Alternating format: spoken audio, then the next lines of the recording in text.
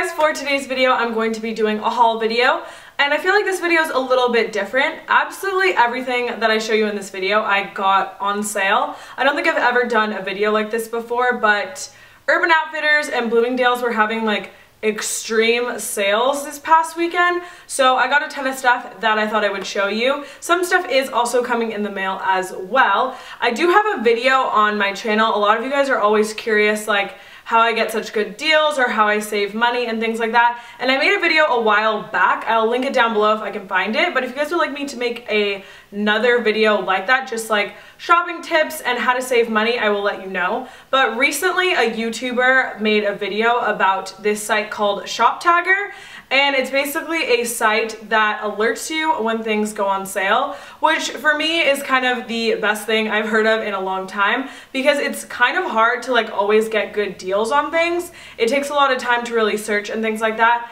And lately my schedule has been so crazy. I'm sorry for not putting up that many videos, but I just like don't have time for a lot of things and there's a lot going on in my life that I haven't really shared with you guys. But yeah, I don't have time all the time to like find the best deal, so I just decided to try out the site and it's super simple to use. So basically you just go on shoptagr.com, you install the Google Chrome extension and then you can just tag things and basically what it does is just notifies you whenever they go on sale.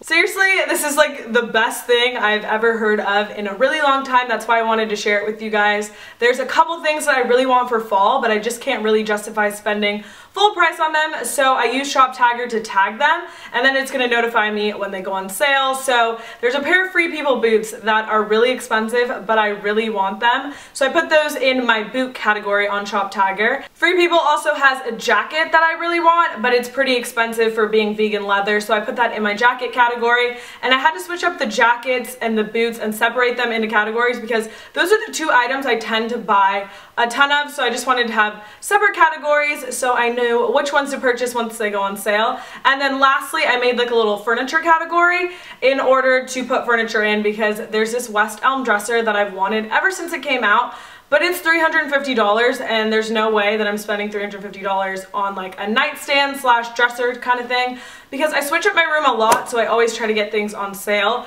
So I'm hoping that those go on sale soon and Shoptagr can alert me. I'm going to link it down below for you guys to check out because I seriously think you should check it out. I mean, it's a great thing and like I said, I like to get things on good deals so that's going to help me out a lot. And there's a ton of different stores on there that it supports. So yeah, the link will be down below and now I'm just going to jump right into the haul. Starting off with what I got from Bloomingdale's, they had a sale and it was basically 40% off everything that was already on sale. So essentially everything was like 60 to 80% off. So I got a ton of like free people things just because they were so cheap. The first thing that I got are these shorts and they're originally I think $90 and these came out to be $20. They have like really cute lace detailing on the bottom and I just thought they were super cute. I live in California so yes I do still need shorts to wear throughout the fall. The next thing that I got is just this tank top, just a really nice graphic and it's lower in the front. I mean lower in the back and higher in the front. It just fits really nicely and that was $15. Next I got this sweater and it's just like a really nice striped like sheer sweater from Free People. That was only $17. I also got this shirt. I'm not sure how well you're going to be able to see it, but it basically just has a ton of different like holes in it. I do have a DIY on my channel on how to make this shirt if you're wondering, but I didn't pass this one up just because it was only $10. So basically the cost of Buying the shirt to put the holes in it would be the same, but if you would like to check out the DIY, I will link that down below for you guys. And then the last thing that I got from Bloomingdale's was just another Free People shirt. I have this shirt in white, so I just picked it up in the striped as well because it was only $15 and originally this is a $70 shirt, so I thought that that was a really good deal. Moving on to Urban Outfitters, I got a ton of stuff, and I'm gonna be completely honest, I ordered a ton of stuff online just because everything was so affordable from the sale because everything that was already on sale was marked down to an additional 50% off of that, so things were very affordable, so I decided to stock up and do some serious damage. First thing that I got are just a pair of classic black Vans. These were only $9.99, so like I couldn't pass them up. I used to have a pair of these in middle school and I wore them all the time. So I decided to pick those up and they were only $10. I think originally they're like 50 or 60 depending on where you buy them from. I got another one of these ripped up shirts just because again it was only $10 and that would basically be the cost of getting the shirt to put the holes in it anyways. I got this like washed button up shirt and this came out to $15 so it's just basically your classic like button up but it's very like washed and it has like the whole like acid wash to it. I thought that that was really cute. I got this sweater that I had been eyeing for a while and it was originally $70 and I got it for 15 It's just blue and it has really nice just shades of blue with it and it's like striped and it has a v-neck. I got it really oversized and it looks really cute on.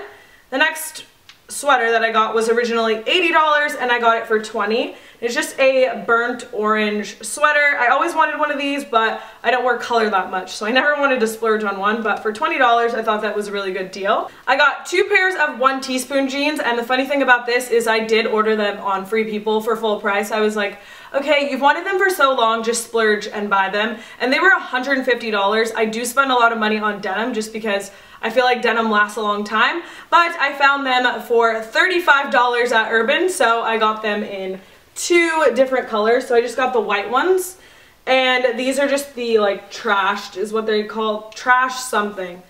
Trashed Freebird jeans, and yeah, they're all ripped up. So I got them in white, and then I also got them in the light wash denim, and they're just kind of, as you can see, really, really destroyed, but that's how I like my jeans usually. I got this really cute like woven tank originally $50 and it was 15 it like crosses in the front but it has this really cute detailing on it like stitched in that I thought was really cute. I got this shirt originally $80 for 20 and it's just your classic like white tank top but the back is like covered in crochet. It's super cute on and very flattering. Then this shirt that I actually almost purchased for full price like the week before uh, just because I wanted it so bad and it was $60. It's more like a button-up sweater and I ended up getting it for 15 so it's just like really burnt out. I'm not sure how well you can see it, but it's like really burnt out all over the sweater.